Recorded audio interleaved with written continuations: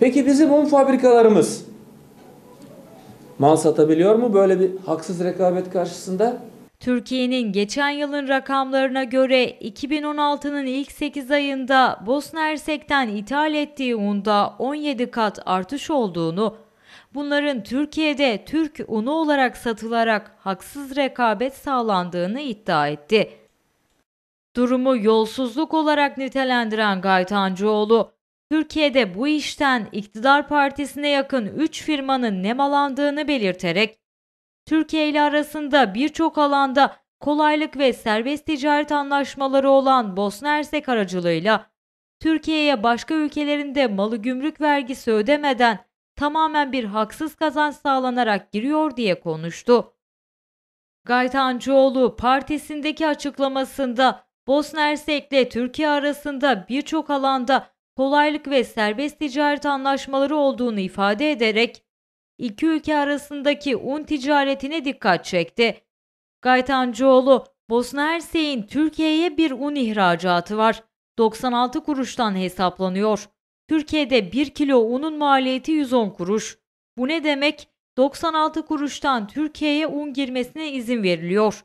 Yani kolaylık sağlıyoruz. Bosna Hersek, Türk Müslüman nüfusunun yaşadığı bir ülke ve bizim soydaşımız.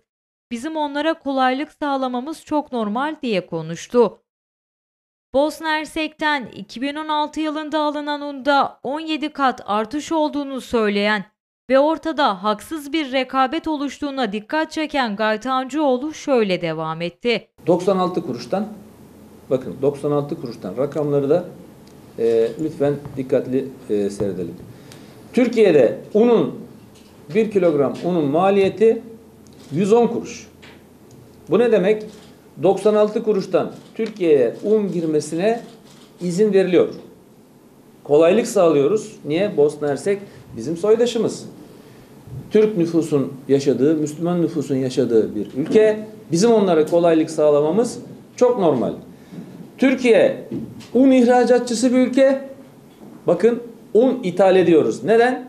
Yardım etmek amacıyla. 96 kuruştan bize gönderiyorlar.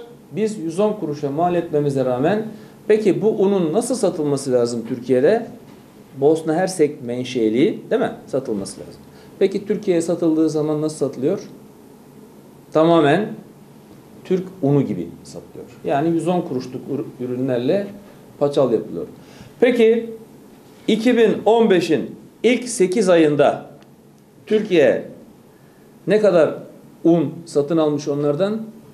1600 ton. Şimdi 8 aylık dönemde tam 17 kat artmış. 17 kat arttığı zaman Cumhuriyet Halk Partisi buna müdahale eder. Ve tabii ki gelen ihbarları da değerlendirdik. Sadece un değil. Bitkisel yağlarda, Mısır'da ciddi bir artış var. Peki bizim un fabrikalarımız mal satabiliyor mu böyle bir haksız rekabet karşısında? Peki bu Bosna Hersek'in unu mu?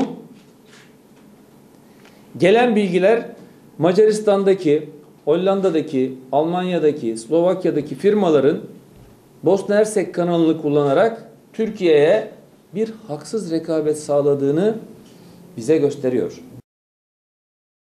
CHP'li vekil Gaytancıoğlu açıklamalarında haksız kazanç sağlayan şirketlerin arasında Trakya'dan da bazı firmalar olduğunu dile getirdi.